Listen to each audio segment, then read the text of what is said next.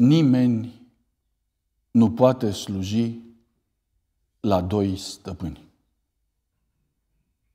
Căci sau va urâ pe unul și va iubi pe celălalt, sau va ține la unul și va nesocoti pe celălalt.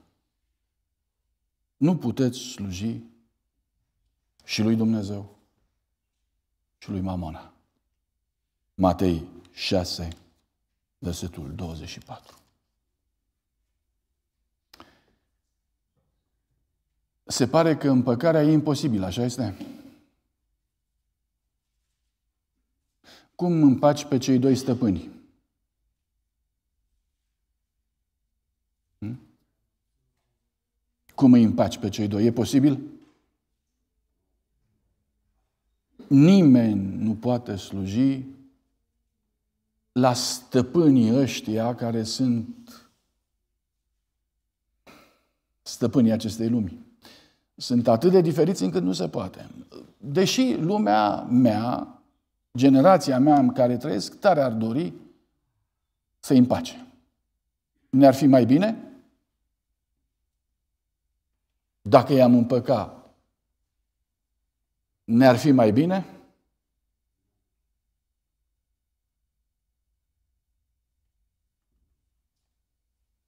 Um, e ciudată împăcarea sau chemarea pe care ne-o face Dumnezeu nouă, atunci când uh, în cadrul fericirilor, ca Matei capitolul 5 cu versetul 9 ni se spune ferice de cei împăciuitori. Adică de cei ce aduc pacea pe pământul ăsta, cei ce împacă lucrul cu neputință de împăcat. Ferice de cei împăciuitori, că cei vor fi chemați fii ai lui Dumnezeu. În seara asta aș vrea să vorbim despre împăcarea asta imposibilă. O împăcare ce este imposibilă din punct de vedere al lui Dumnezeu.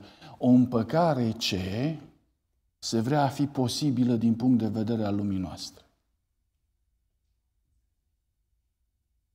În momentul în care Domnul Isus Hristos era în pustie,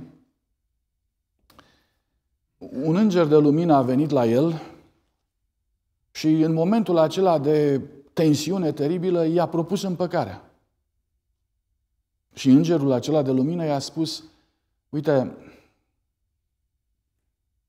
nu vrei să împăcăm lucrurile? Dacă ești de acord ca să mi te închin mie, atunci eu îți voi da toate lucrurile pentru care tu te-ai închinat mie, adică îți voi da totul. Hai să stabilim lucrul ăsta. Și Mântuitorul i-a spus, nu se poate. Și de atunci, nu se poate. Pentru că Mântuitorul a zis, nu.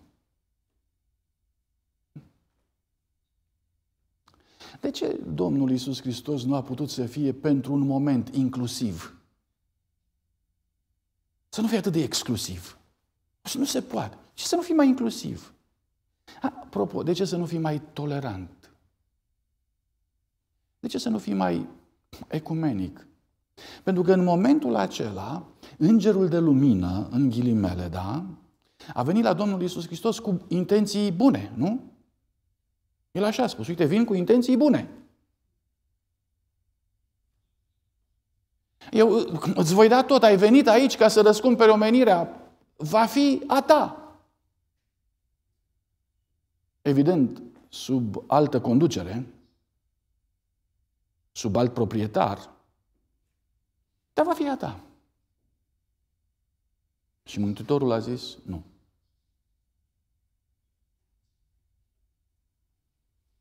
În momentul acela, pentru câteva minute, îngerul de lumină, geniul acela al răului, a părut că este marele împăciuitor. A venit și a zis, uite, haideți să încetăm războiul care a început în ceruri, haideți să fie pace, haideți să fie bine.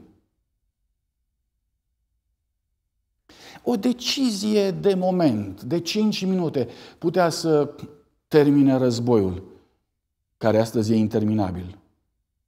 Războiul cu toate consecințele lui. Da? Crime, foamete, moarte, durere, puteau să se termine toate. E adevărat? Puteau să se termine? Așa părea. În realitate, îngerul de lumină cerea înveșnicirea lor. Nu vrei, Doamne, să fie în cer ca pe pământ? Nu vrei? Și Mântuitorul a spus nu. Și din momentul acela nu se poate sluji la doi stăpâni și e rău. Mulți dintre noi merg așa cu un picior pe o cărare și cu un alt picior pe altă cărare. Se numește mergem pe două cărări. Ilie a prins lucrul ăsta și a spus pe muntele Carmel, până când vreți să mergeți pe două cărări? El spune altfel, el spune să șchiopătați de amândouă picioarele, adică cu niciun picior nu mergi pe unde trebuie. Că nu poți să mergi cu un picior pe calea lui Dumnezeu dacă piciorul celălalt îl târăști pe calea cealaltă. Chiar nu se poate. Deși, repet, lumea mea tare mult ar vrea să fie posibil. Și foarte mulți dintre oameni se chinuie. Merg cu un picior pe o parte, merg cu un picior pe cealaltă și se întreabă, dar de ce potecile astea două nu pot să meargă una între ala, în cealaltă? Adică să emergi, să, să se unească. Să mergi cele două. De ce? De ce nu le poți uni? De ce se despart? Și vă rog să observați dumneavoastră că lumea mea dă vina pe cine? Pe cine dă vina? Cine n-a vrut? Cine nu vrea? Dă vina pe Domnul Isus. Că, din punct de vedere al îngerului acela de lumină, el a venit, repet, cu bune intenții. Până în ziua de astăzi, creștinismul, mai ales astăzi, creștinismul este acuzat pentru faptul că nu face compromis. Și un compromis benefic, spun ceilalți, cu foarte multe urmări pozitive.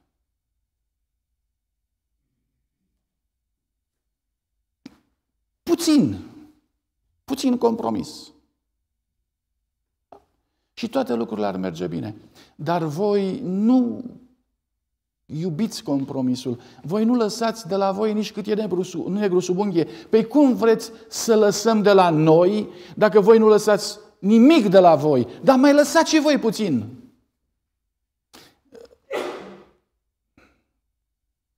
Vă amintiți unde a mai fost masa asta de tratative în istorie. A fost de multe ori, dar așa, ca idee, odată, la început, cândva. Când a stat creștinismul pentru prima dată la o astfel de masă de tratative? Și când creștinismul a zis, bine, lăsăm și noi puțin. Conciliul de la Nicea, 325. Constantin cel Mare a zis, nu se poate. În universul meu, care era Imperiul Roman, nu se poate această rupere. Haideți, lăsați și voi puțin. Lasă și ceilalți puțin. Și de atunci creștinismul a învățat să lase câte ceva. Puțin, nu mult. Pentru ce? Pentru bine. Cu intenții bune. Rezultatul pe termen lung a fost că la o vreme creștinismul a devenit de nerecunoscut. De nerecunoscut. vorbind despre lucrul acesta, cuvântul lui Dumnezeu numește acest pact, această alianță, acest compromis pentru lucruri bune, o numește ca fiind taina fără de legii. De ce? Pentru că până la urmă, compromisul ăsta bun, în ghilimele, a trebuit să lovească într-un singur punct.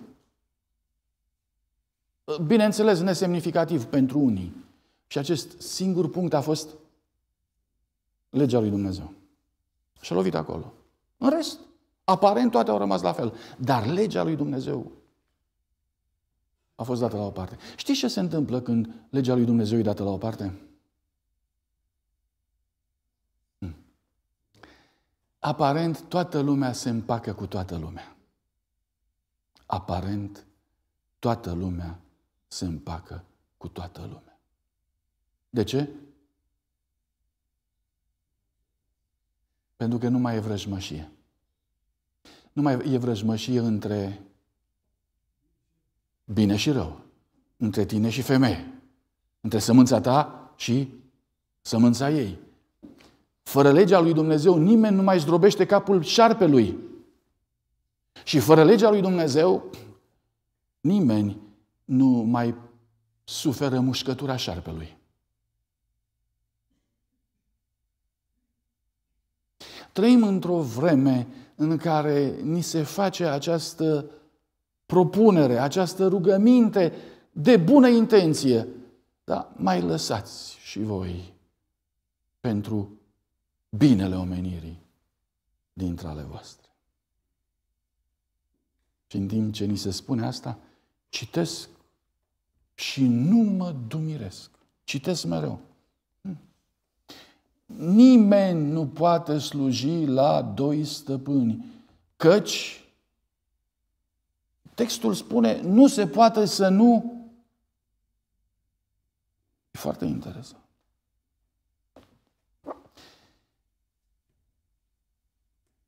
Mi se spune astăzi că eu trebuie să iubesc. Și dacă iubesc și dacă am în inimă dragoste, atunci voi putea iubi pe oricine. Nu zice acolo să vă iubiți și pe vrăjmașii voștri. Vei putea iubi și pe vrăjmașul tău. Prin extensie vei putea iubi Cine e marele vrăjmaș? Hmm? Poartă scris pe tricou. Vrăjmaș. Satana înseamnă vrăjmaș. Nu așa înseamnă în limba, în limba cealaltă. Satan înseamnă vrăjmaș. Păi și dacă tu ești atât de plin de iubire, nu poți să iubești pe toată lumea?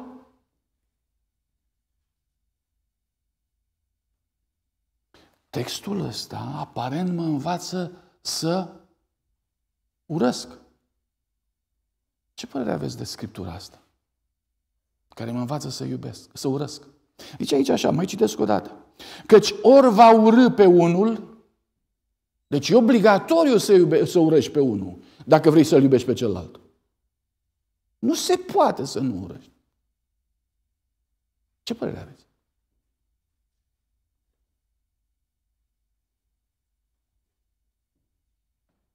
Ori va urâ pe unul și va iubi pe celălalt, sau va ține la unul și va ne socoti pe celălalt.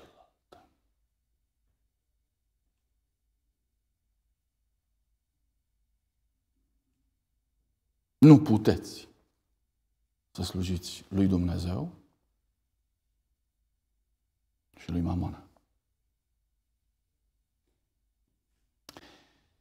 Bun. Ferice de cei împăciuitori, că cei vor fi chemați fii ai lui Dumnezeu.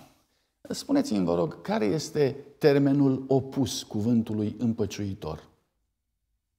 Dacă nu e împăcare, atunci ce este? Poftiți? N-am înțeles. Dacă nu este împăcare, atunci ce este? Dezbinare. Poftiți? Răzvrătire, mulțumesc. Este război, este ceartă. Mulțumesc. Aș vrea să lămurești ceva de la bun început. Știți că omul lui Dumnezeu nu se ceartă? Știți? Așa zice cuvântul lui Dumnezeu. Omul lui Dumnezeu nu se ceartă.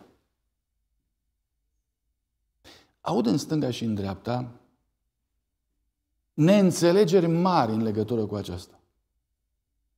Se spune că, spre exemplu, Pavel s-a certat cu Petru atunci când i-a stat împotriva. Atunci când, când Petru, împreună cu cei ce veniseră de la Ierusalim, s-a dat deoparte și n-a mai mâncat cu neamurile. Și Pavel i-a stat împotrivă. Ăsta este cuvântul pe care îl folosește cuvântul lui Dumnezeu. Și comentatorii spun, i-a stat împotrivă, deci s-au certat. Hmm. Aud alți creștini care, se spun, care spun, m-am certat cu Dumnezeu. Hmm. Dar de ce? Păi, am făcut și eu ce a făcut cine? Iov. Pentru că și Iov s-a certat cu Dumnezeu. Modelele sunt luate de undeva unde cuvântul ceartă este înțeles într-un fel sau altul, dar aș vrea să înțelegem bine. Niciodată un copil al lui Dumnezeu nu se ceartă cum se ceartă un om firesc. De unde știu lucrul ăsta?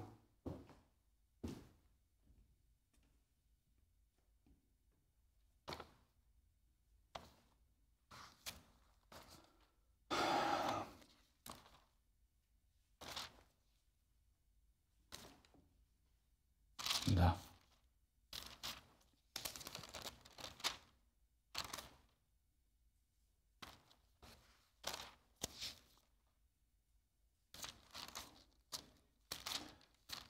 Vă, invitam, vă invit să deschidem cuvântul lui Dumnezeu în Iuda.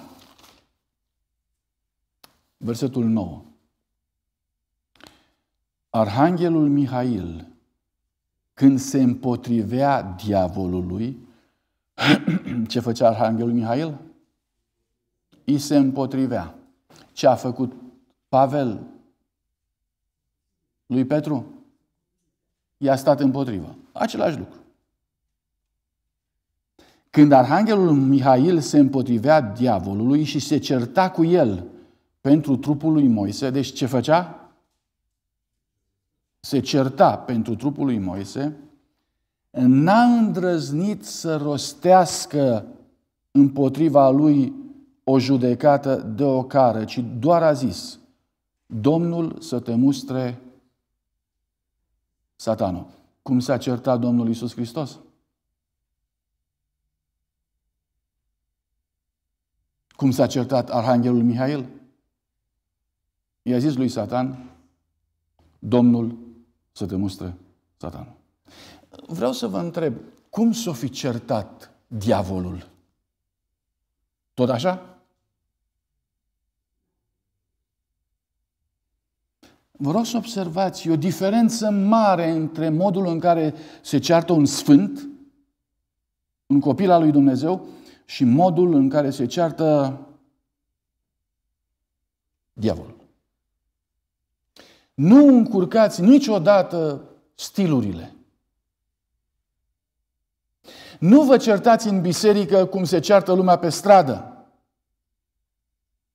Nu vă certați cu un frate sau cu o soră cum se ceartă doi nelegiuiți sau păcătoși.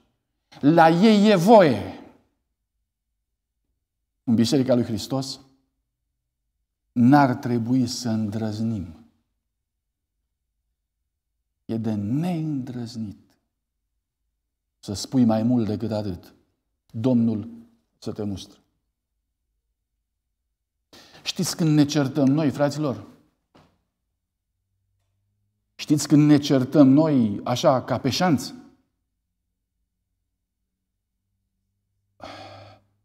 Când nu zicem Domnul să te mustre. Cu alte cuvinte, când nu avem conștiința prezenței lui Dumnezeu. Când nu venim cu cazul nostru înaintea lui Dumnezeu, când vrem să rezolvăm noi problemele care le avem acum, aici și între noi, când noi devenim judecători, atunci ne certăm teribil.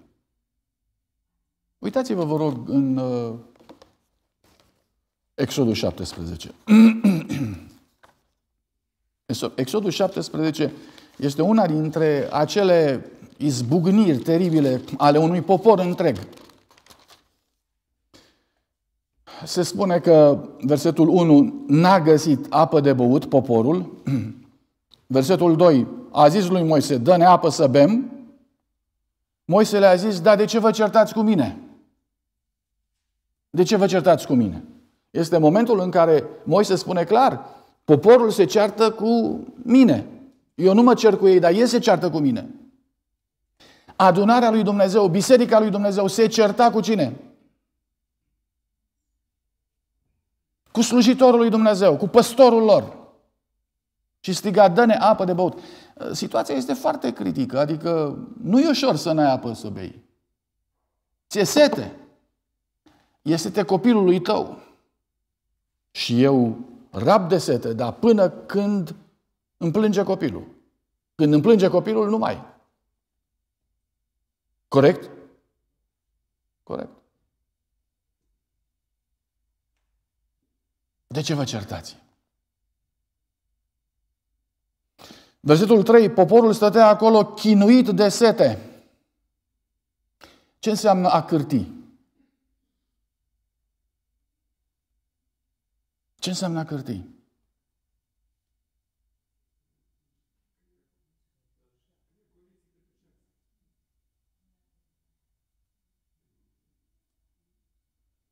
Nu știu, îmi puteți da un alt termen.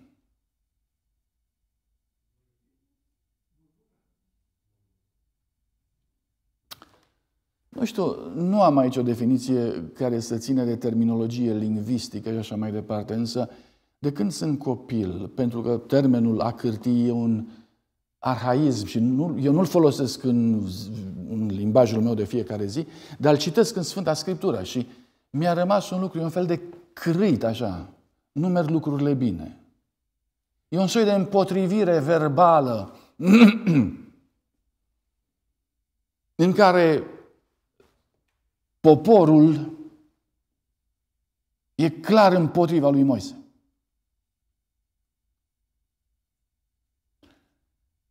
Mesajul este următorul. Ne-ai scos din Egipt ca să ne ucizi aici în pustie, pe noi și pe copiii noștri. Spuneți-mi, vă rog, ce e asta? Hmm? Cum o numiți? Asta se numește teorie conspirativă. Adică îți imaginezi că omul ăsta a avut un plan diabolic, a scos milioane, iertați-mă, milioane de oameni din Egipt, îi duci în pustie, mor acolo și tu devii peste noapte milionar cu averile lor. Ce asta? Încă o dată. Conspirație. Teorie conspirativă. Și s-a înșurubat atât de bine în capul lor, încât au fost siguri că lucrurile stau așa. Pentru că aveau și dovezi. Îi adusese într-un loc unde nu era nici măcar apă. Mâncare nici atât. Praz, carne, ceapă, usturoi. De departe. N-ați crede lucrurile așa dacă ați fi acolo. Dacă v-ați muta acum, în momentul ăsta, acolo, în pustie, printre ei, nu i-ați crede? Noi suntem foarte, foarte receptivi la lucrurile negative. Bârfa ne prinde foarte bine. Imediat suntem gata. Dar dacă e așa, nu uitați, marea noastră problemă firească, nu duhovnicească, este că noi suntem certați. Gata. Noi ne naștem certați cu Dumnezeu, certați și unii cu alții. Asta este firea noastră. Pe lângă vrăjmășia între bine și rău, ne naștem într-o zonă în care vrăjmășia ne macină pe interior. Noi nu suntem capabili să fim împăcați nici cu noi înșine, nici cu Dumnezeu și nici cu situațiile prin care viața ne aduce. Nu suntem împăcați. Nu știm ce e aia să fii împăcat. Noi întotdeauna suntem extrem de vulnerabili, extrem de deschiși la orice zvon, cum că ar fi mai rău decât se pare. Nu? Asta e. Versetul 4 spune că lucrurile au mers până acolo încât poporul a început să strângă pietre. Pentru ce? Ca să-l ucidă pe Moise. De ce se întâmplă toate lucrurile astea? Versetul 7. Ei au numit locul acela Masa și Meriba, ispită și ceartă, căci copiii lui Israel se certaseră, ispitiseră pe Domnul zicând, este Domnul în mijlocul nostru sau nu este? Și acum vă rog să-mi spuneți, când apare zona de ceartă? În viața mea și în viața ta. Când nu mai știm dacă Domnul e aici. Repet. Când trebuie să rezolvăm problemele eu și cu tine fără Dumnezeu, când nu putem zice Domnul să judece între mine și tine, așa cum zice Duhul de atâtea ori. Când nu putem zice treaba asta și când vrem să rezolvăm problemele noi, când suntem la refidim, la masa și meriba, între ceartă și ispitire, pentru că nu știm dacă Domnul mai poate să facă dreptate și vrem să facem noi dreptate, de fiecare dată apare ceartă. Cum ar fi împăcarea? Cum ar fi împăcarea? E imposibil, spuneți. Dar dacă totuși ar trebui să găsim pe undeva împăcare, cum ar fi împăcarea?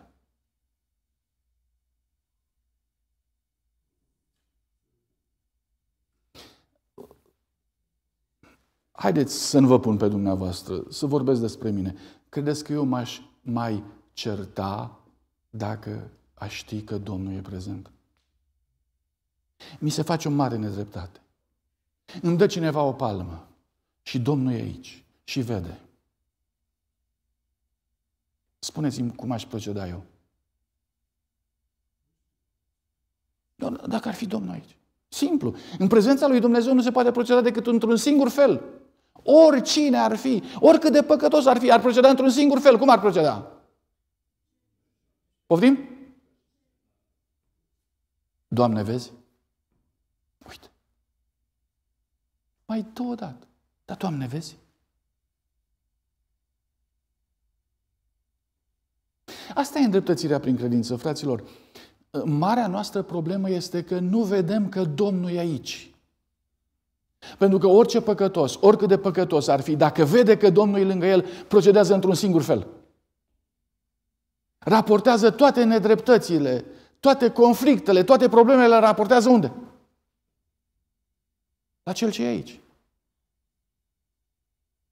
Știți vorba aceea care spune, vezi, nu lovi un câine înainte să te interesezi? Ziceți dumneavoastră. Cine e stăpânul? Cine e stăpânul? Pentru că problema nu este că lovești câinele, ci problema este că are un stăpân. Eu atâta sunt. Dar stăpânul. Da? Stăpânul contează.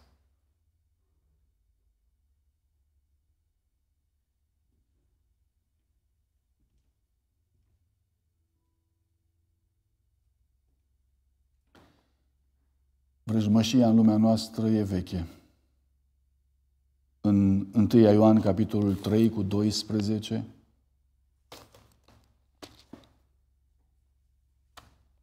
Ioan își aduce aminte de primul martir. De ce l-a omorât pe Abel? Puteți să mă ajutați? De ce l-au omorât? Haideți. Poftiți? Ce motiv ai? Eu cred că dreptatea condamnă la moarte pe cei care fac fapte rele. Istoria lumii noastre demonstrează că Abel a fost ucis pentru că a făcut fapte bune. Vreau să vă întreb, eu de ce mai trăiesc? Mă înțelegeți? Eu, care sunt creștin, care ar trebui să fac fapte bune, ce soartă ar trebui să am? Poftiți? Soarta lui? Nu? Soarta lui Abel. Ce aici spune limpede, versetul 12. Nu cum a fost Cain care era de la cel rău și a ucis pe fratele său. Și pentru ce l-a ucis? Pentru că faptele lui erau rele, iar ale lui Abel erau bune. Și clar, de la bun început, biletul de existență pe lumea asta l-au avut faptele rele, nu cele bune. Știți vorba care circulă astăzi, orice faptă bună trebuie pedepsită. Asta este lumea în care trăiesc eu. orice faptă bună trebuie pedepsită, nu faptele rele. Din ce cauză?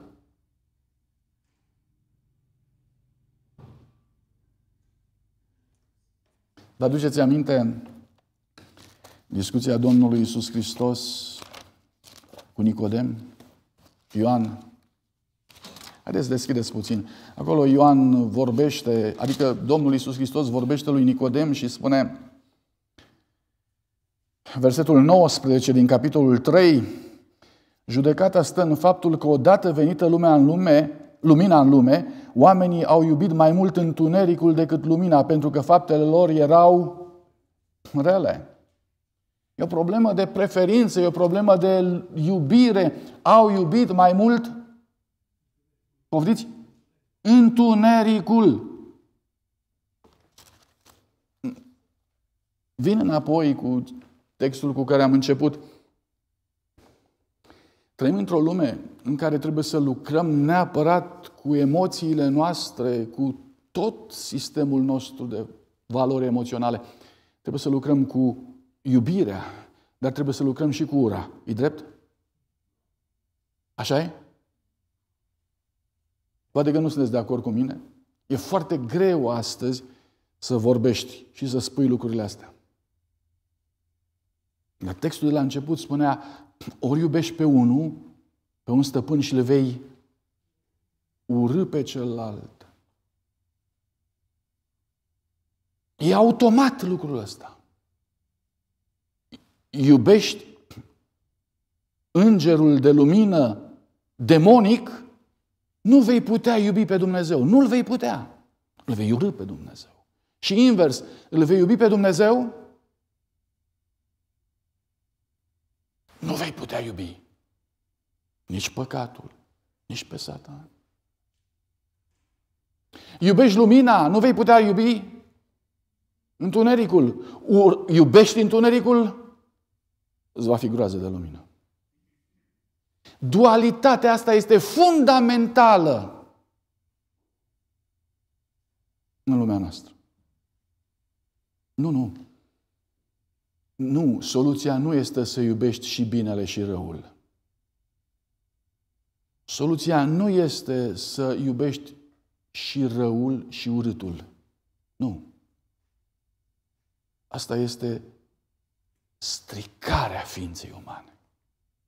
Omul nu poate iubi ce nu-i de iubit. Nu lăsați să vi se strice dragostea.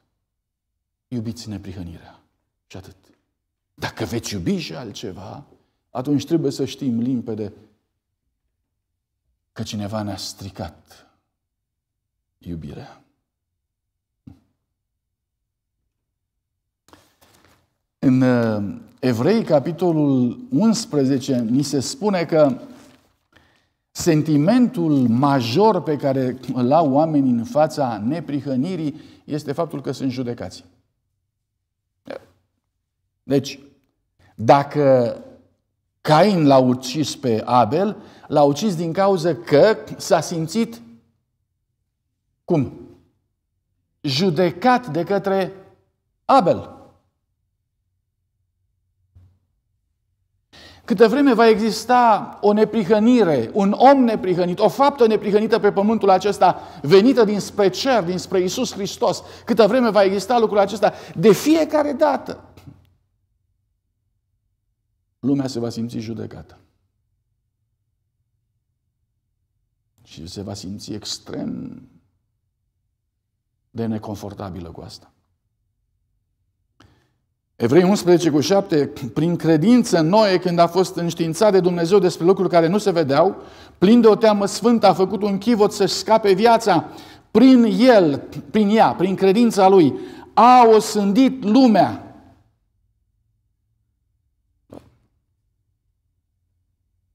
Spuneți-mi, vă rog, cine a condamnat lumea antediluviană? Cine? Poftiți? Textul spune Noe. Noe a condamnat lumea. Și lumea a știut. Din cauza asta nu l-au putut iubi. Din cauza asta n-au suportat să intre cu el în corabie, că nu-l puteau înghiți.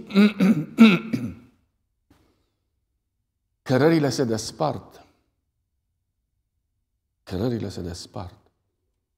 Nu pentru că noi am dorit lucrul acesta, nu pentru că am vrea noi să o luăm în dreapta, ci pentru că drumul pe care ne cheamă Iisus Hristos cotește.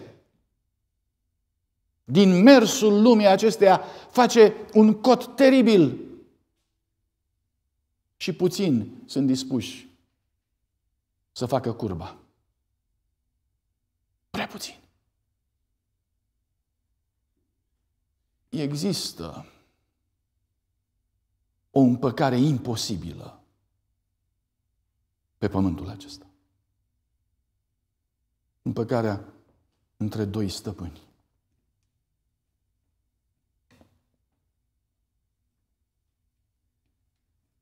Aș um, vrea să citesc împreună cu dumneavoastră mai departe ce spune Iuda.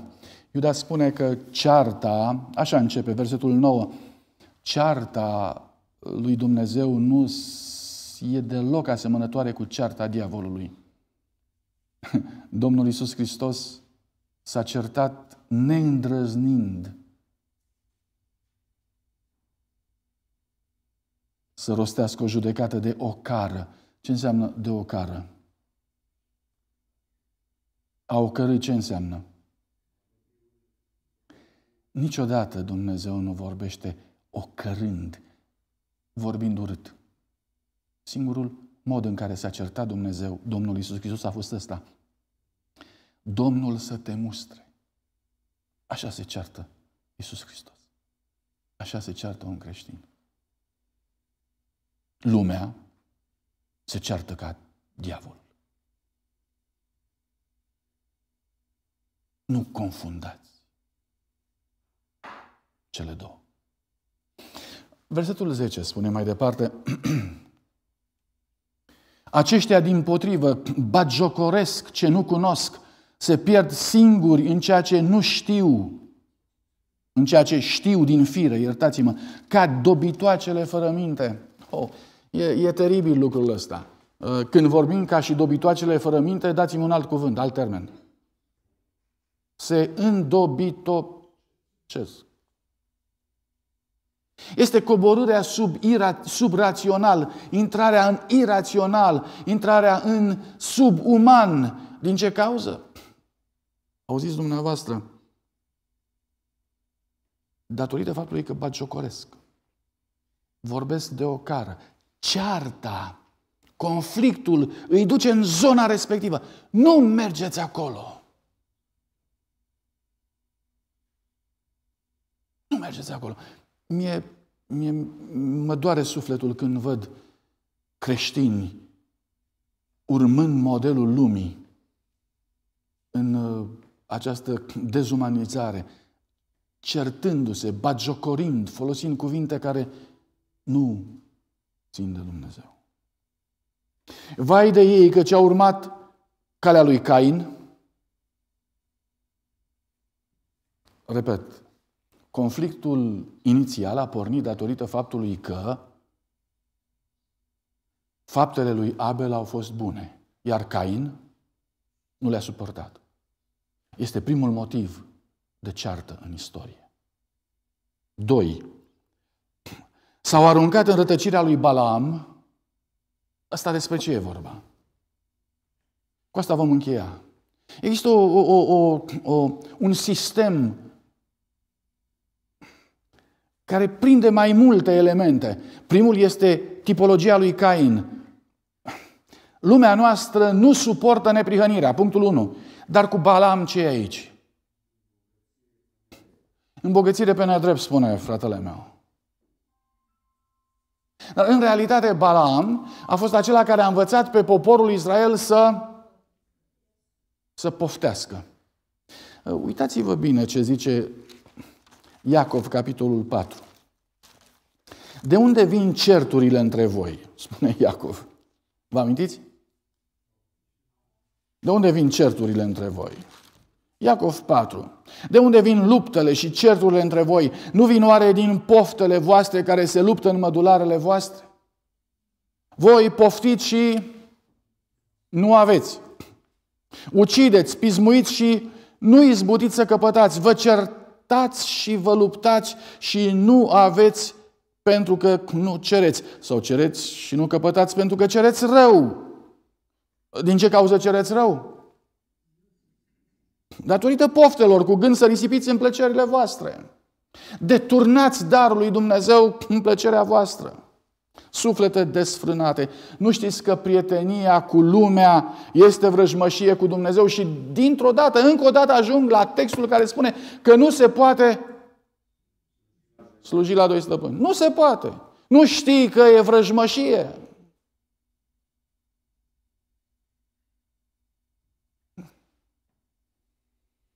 i-a învățat să poftească. Și din momentul în care au început să poftească, din momentul acela nu i-a mai putut opri nimeni din calea lui Balam. Mă întorc aici. Textul spune rătăcirea lui Balam, practic, din rădăcina, rădăcirea lui Balam.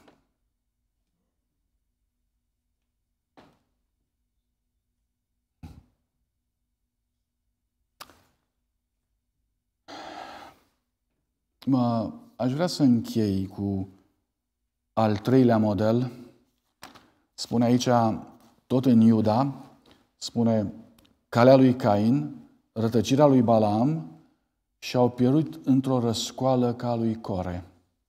Să știți că cele trei sunt progresive. Ele merg mână în mână. Începe cu calea lui Cain, urârea neprihănirii, urmează rătăcirea lui Balaam, iubirea poftei și trei, se ajunge la o răscoală, cu alte cuvinte, la o revoluție întreagă a unui popor împotriva lui Dumnezeu.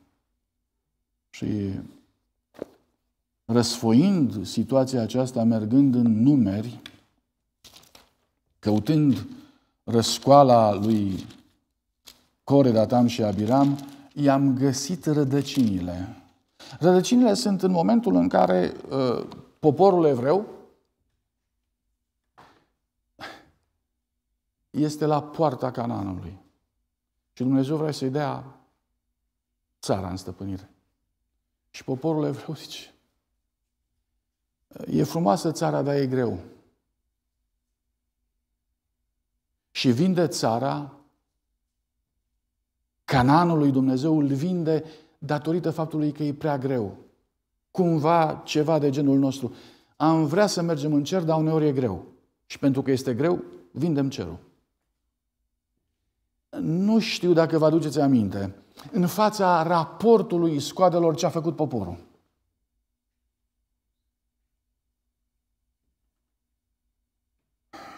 Versetul 10 din număr 14 zice, toată adunarea vorbea să-i ucidă cu pietre.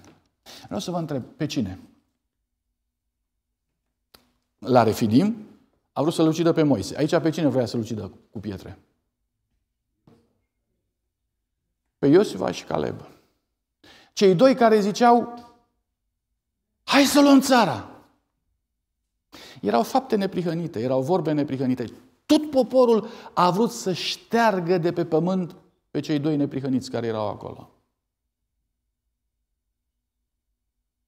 Interesantă psihologia certei firești. Uitați-vă ce se întâmplă. Oamenii parcă nu mai au minte. Cearta, tensiunea le-a luat complet mintea. Judecă în conformitate cu acea ficțiune, acea teorie a conspirației. Din nou, vreți să ne omorâți pe toți. Și coboară Dumnezeu între ei și când coboară Dumnezeu între ei, face dreptate și lucrurile se schimbă fundamental.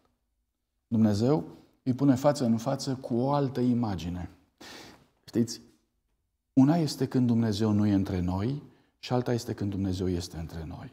Când Dumnezeu nu este între noi, ne putem certa unul cu altul pentru că vrem să facem dreptate acum și noi doi.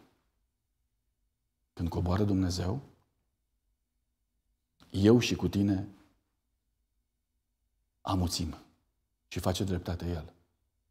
A coborât Dumnezeu între ei și a dat la o parte vălul. Știți ce le-a spus? Știți de ce vă certați? Haideți să vă zic. Versetul 24. Robul meu, Caleb, a fost însuflețit de un alt duh.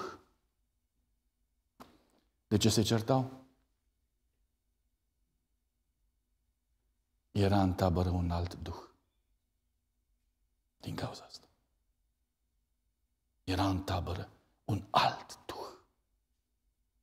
În final, ferește-te de duhul de ceartă. E un alt duh.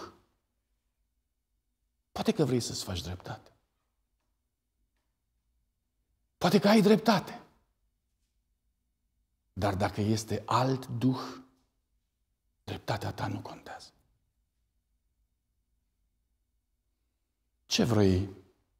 Duhul Sfânt sau neprihănirea lumii, dreptatea lumii?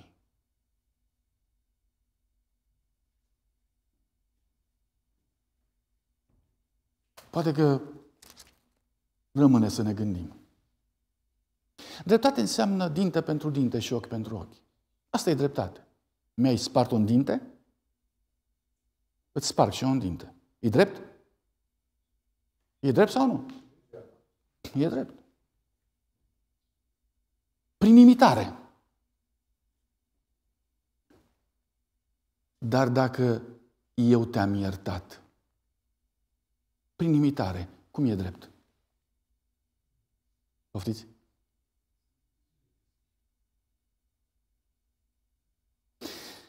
Vedeți? A venit Isus Hristos și printr-o singură faptă a schimbat tot sensul dreptății. E drept și să-i spargi dintele celuilalt. Dar după ce Iisus Hristos te-a iertat, această faptă mare a schimbat tot.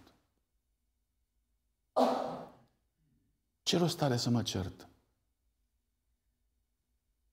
Dacă nu este Hristos lângă mine, poate că are rost. Dacă este Isus Hristos lângă mine, faptul că El m-a iertat schimbă tot. Vă las cu gândul ăsta sau cu întrebarea asta. Ce fapte ne inspiră? Fapta lui Isus Hristos? sau palma pe care am primit-o pe traseul lumii acesteia. Care dintre ele au importanță? Lângă cine stau? Cine e lângă mine? Un vrăjmaș? Sau este cel ce mi este prieten, Iisus Hristos? Cine mă inspiră? Tatăl nostru, ni drag lângă Tine. Prezența Ta, Duhul Tău cel Sfânt, va smulge din rădăcină motivele și spiritul care deseori ne duce într-o zonă a vrăjmășiei din care nu putem ieși. Ferește-ne de vrăjmășia cu noi înșine, cu frații noștri și cu tine.